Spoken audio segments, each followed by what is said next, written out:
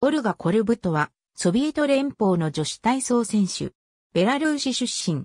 フロドナで4人姉妹の4番目として生まれる。小学校の頃はクラスで一番小さかったが、他の女子の誰よりも速く走り、より高くジャンプできた。8歳で体操を始め、11歳の時にベラルーシスポーツスクールに入り、英才教育を受けた。1972年のミュンヘンオリンピックで団体、平均台、床で金メダル、段違い平行棒で銀メダルを獲得。華麗な演技でミュンヘンの慣習を魅了し、ミュンヘンの恋人と呼ばれた。大会後、ベラルーシの郵便局には1年で2万通のファンレターが届いたという。また、段違い平行棒では、棒の上に立った状態から後方に宙返りして、再び棒を掴む技を初めて披露し、コルブトと命名された。1976年のモントリオールオリンピックでは、団体で金メダル、平均台では、ナディア・コマネッチに次いで銀メダルを獲得した。1977年3月30日に引退を表明した。ベラルーシのフォークバンド、ペスニャリのメンバーレオニード・ボルテコビッチと結婚し、1979年に長男リチャードを出産した。1988年に国際体操殿堂入り。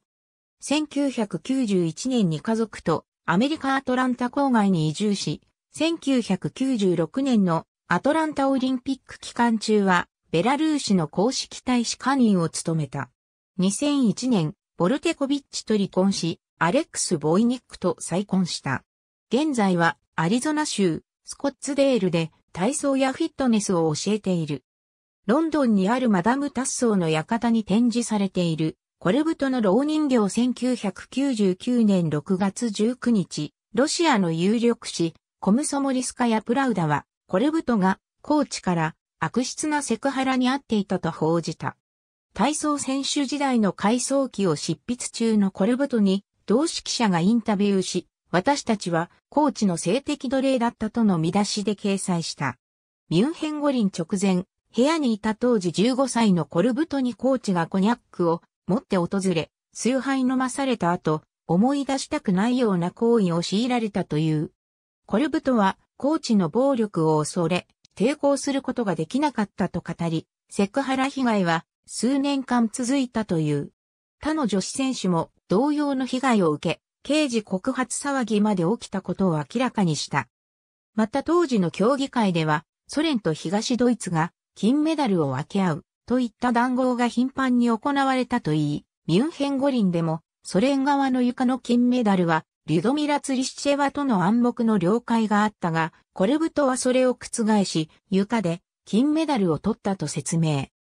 さらにコレブトは通訳やピアニストとして同行した秘密警察の旧 KGB 関係者の神経を逆なでする行動を繰り返したため、当局から睨まれ、事実上の出国制限措置を受けていたという。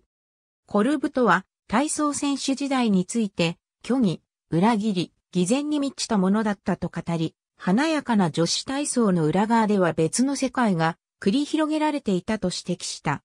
一方、私生活では2002年1月31日、アトランタ近郊のスーパーマーケットで、チーズ、チョコレートシロップ、一軸など19ドル相当の食料品を万引きして逮捕された。